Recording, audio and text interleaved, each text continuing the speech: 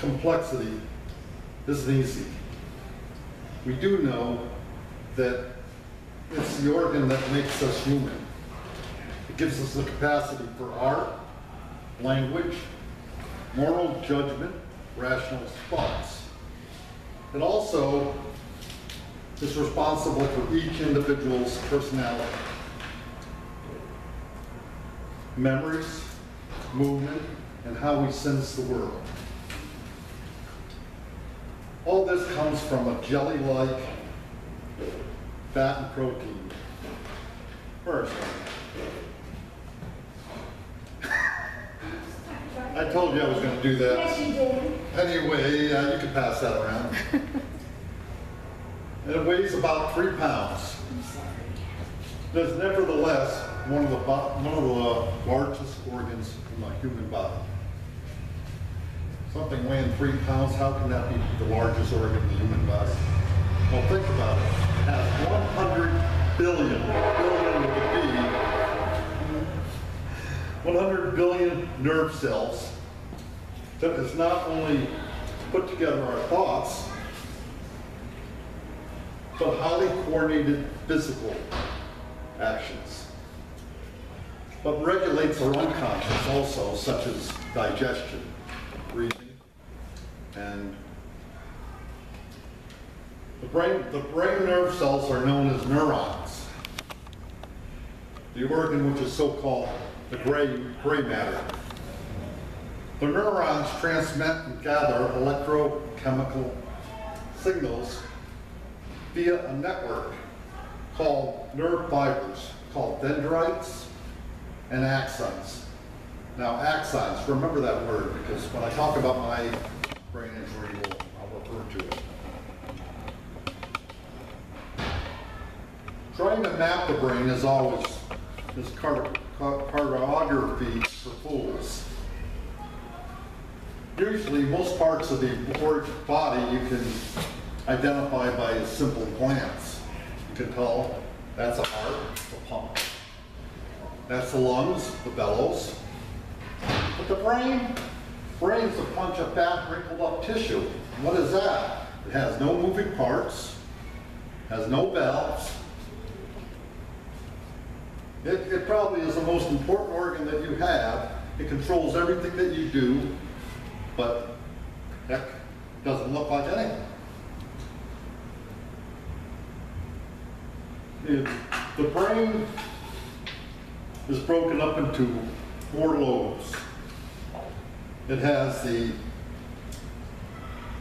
parietal lobe, the frontal lobe, the temporal lobe, and the occipital lobe. The temporal lobe, which is the sensory, which is touch. Touch, feel, and pain usually have a damage of the temporal lobe. The frontal lobe is the controls all your mechanical skills, your motion, your, you know, your limbs and how you move and all that. That's usually coordinated in the frontal lobe. The temporal lobe affects your speaking. And I'll talk about that in a second too. This may be hard for some of you to believe, but for 15 months, I couldn't talk. Well, what I would do, I could make sounds. I go, ah, ah, ah, that's, that would be my talking. But that was me. That was part of the brain injury. And then all of a sudden, my voice came back. Said, my wife said I was working at speech class, but I don't remember. So, it just all of a sudden, I woke up and I started talking, and now she wishes I didn't. Anyway, it's, uh, the brain is a very peculiar and strange instrument.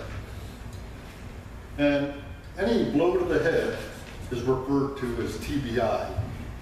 TBI stands for traumatic brain injury. Now, just for simplistic purposes, I'm going to explain my TBI.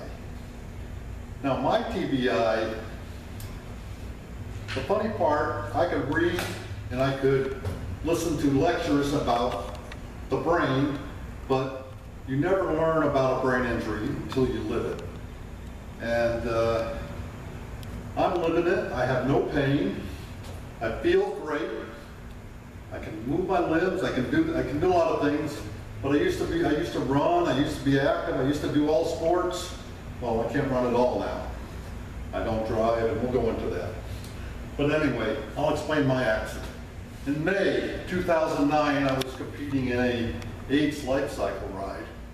And the ride that started at the Cow Palace in San Francisco and went all the way down to the VA hospital in LA. And I only got 13 miles and I had a storm drain. I went over the handlebars and hit a curb. Now, as luck would have it, riding right beside me was somebody else participating in this ride. She was an EMT or, that worked in Santa Cruz, and she was just participating in fundraising. Well, thank the heavens.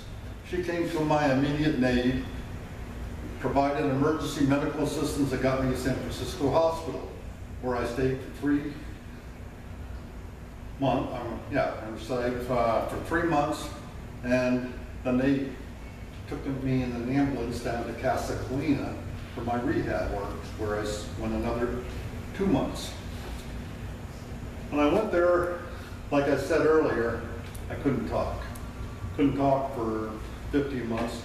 So, but I, in the rehab area, they, I couldn't walk at all either. And I couldn't leave the hospital without a walker. I was so anxious to get rid of that walker. I know they have tools out there to help you and all this, but I wanted to get rid of it because I looked like an idiot. At least I thought I looked like an idiot. No, not for me. So I did. I got rid of it. I put it in the closet. Now I walk with a severe limp, but at least I'm walking. So there, I don't drive, and I probably will never drive, though the doctor said, David, never say never. Never is a long time. That's what he would always tell me. He said, we never thought you would talk, and now look at you, we can't shut you up. Okay, okay. I don't drive right now, and chances are I may, I'm not itching to get in the wheel right now, but who knows? I may, may drive again. And I, don't, I lost a lot of my ability. I don't have the ability, and this might be too much information, and this may be personal, but I do not, I cannot have sex anymore. But, oh well, maybe that one, like, never say never, might come back. Okay, I still have some limitations. I still have my life. Thank goodness. I am the new me, so now it's time to reinvent myself. And now it's time for me to find out what I want to do. And that's basically why I'm here at Toastmasters. I know I used to talk hundred years ago, and I used to be part of Toastmasters. And as Al and Linda know, I love talking. So we'll see where that goes. I am very thankful that I was given another chance, and now it's up to me to make the most of the chance.